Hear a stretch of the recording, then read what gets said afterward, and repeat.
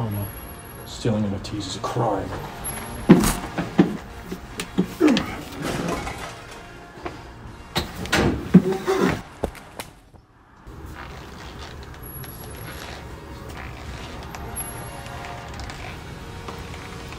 Stealing NFTs is a crime.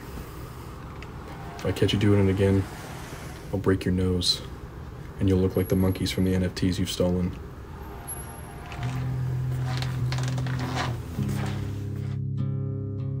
Does one measure the severity of a crime? By how many people it affects? By how many victims it births? Everyone is affected when you screenshot an NFT. Screenshotting an NFT is stealing, and stealing is wrong. I will cast vengeance upon this city, catching every NFT thief like Paul and John. Because I am vengeance, and vengeance has NFTs.